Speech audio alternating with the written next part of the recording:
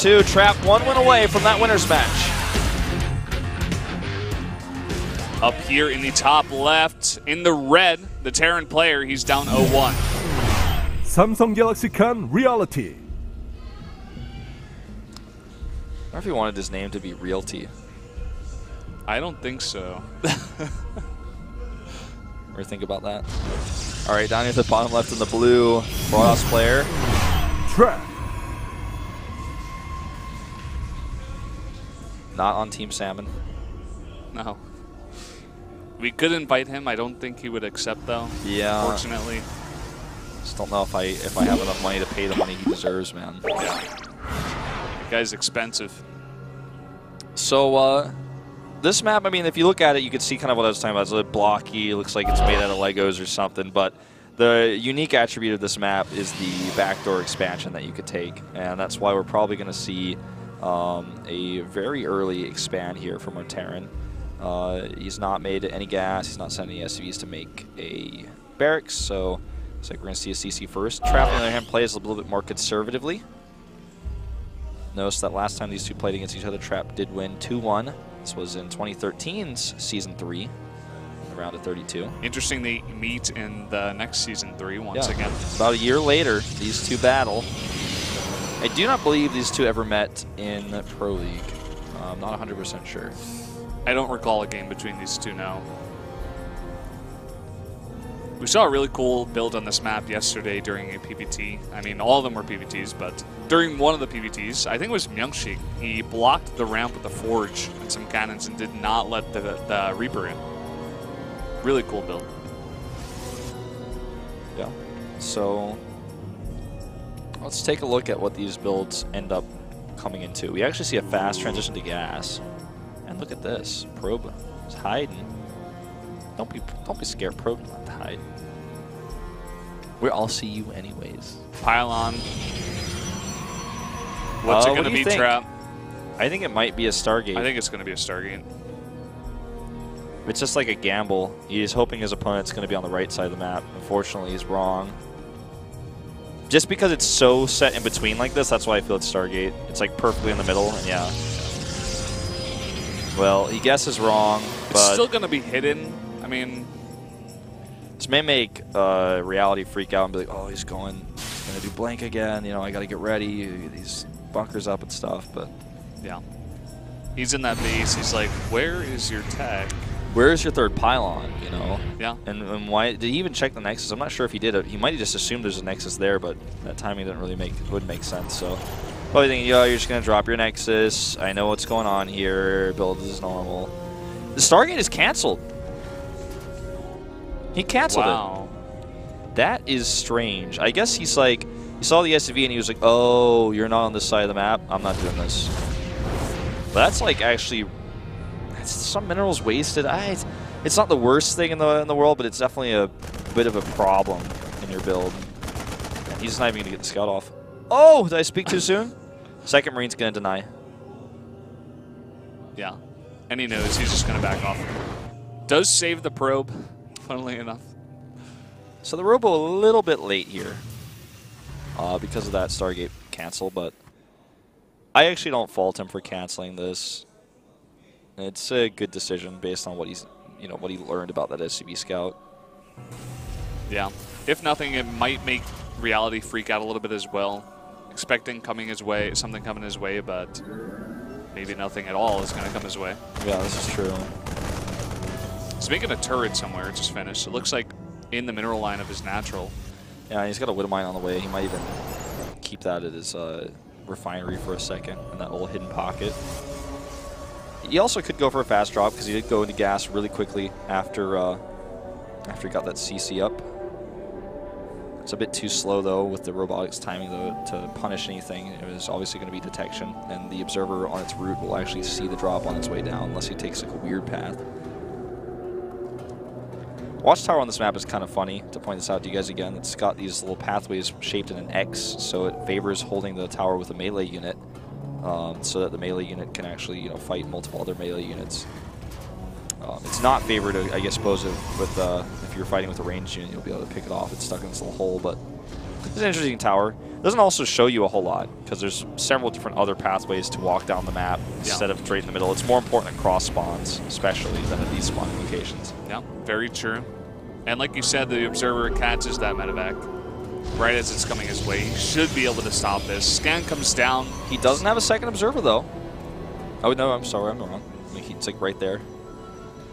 Everything's just the contrary. It's like no, no, no, Wolf, it's absolutely there. It's like right there on, in front of you on the screen. It's also on the unit tab in case you can't see that. I'm like, oh, okay. And he's making a third one as well. Yeah, that's why I got confused. I think. Um,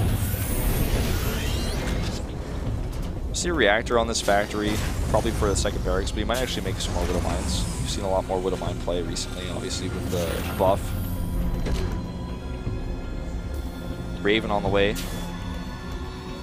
It's going to be pretty handy for multiple reasons, saving them from using scans to stop additional observers.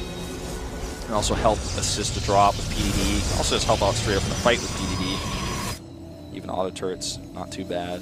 Yeah. Your opponent, your Protoss opponent goes a lot of Stalkers. Could be pretty good in that fight with the PDD. See, like, Twilight Council is coming down. The plus one armor is coming up on that force that was just made as well. Alright, let's see what he does with the reactor. I'm just going to give it to the starport.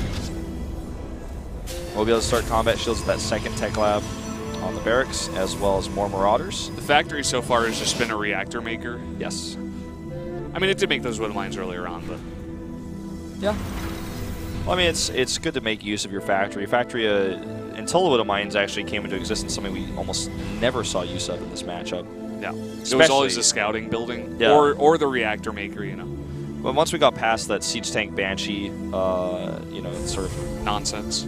Yeah, there's sort of things that we saw a lot. There's tiny pushes that killed on the ladder a lot.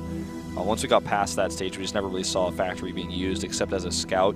Uh, now people are figuring out, you know, it's pretty useful to keep that back at home and um, just drop down uh, those add-ons. Use it for something. So you can have those ready. It's going to be a Colossus drop. Zealot drop. Very interesting what Trap has decided to do on this map. He made one Colossus, then he went straight into Storm.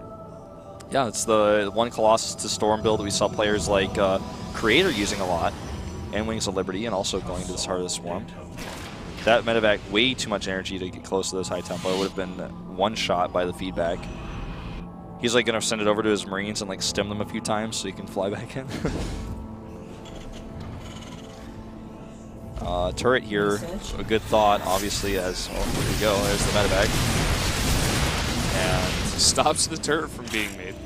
forces a stim as well, but not going to be uh, coming back anytime soon, I don't think. Oh, he actually may intercept this.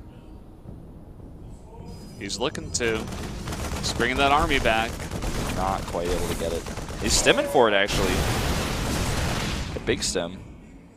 He wants that War Prism so badly. He may also be, again, thinking about what I was saying earlier about the feedbacks. It's like, well, I don't really need... Do I really need 200 energy on my medevacs? Probably not. Do you want to do some dropping. This game is pretty even. Obviously, uh, Reality has made a massive army. His army supply is 23 up right now. But that's gonna, you know, change in a minute here as the tech has sort of solidified itself for Trap. He's gonna start making these big, you know, six supply units, these Colossi. He's even making an Immortal right now. Um, because he's switching into mostly Storm Immortal. That's build you've seen Rain do so much.